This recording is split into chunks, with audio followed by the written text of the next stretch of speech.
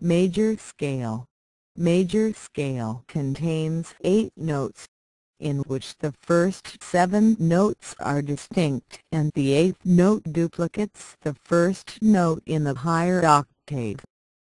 The intervals between the eight notes are whole whole half whole whole whole half.